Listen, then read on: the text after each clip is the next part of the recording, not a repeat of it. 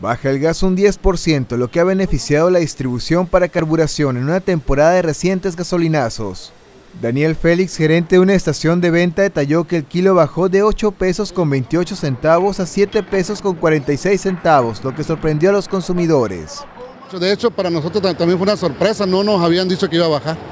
Lo que sí se estaba manteniendo el precio, entonces no había subido comparado con la gasolina.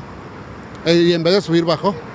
A diario la estación de servicio recibe un promedio de 100 automóviles, que en su mayoría son vehículos de trabajo, como el de Mauro Acuña Fernández, quien se dedica al bacheo de calles. Pues claro, después del gasolinazo que hubo, pues esto está mejor, está, está muy bien.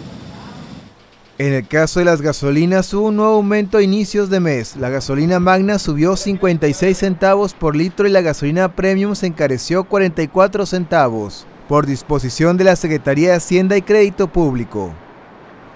Con imágenes de Alejandro Vázquez, Luis Alberto Jauregui, Noticieros Televisa Hermosillo.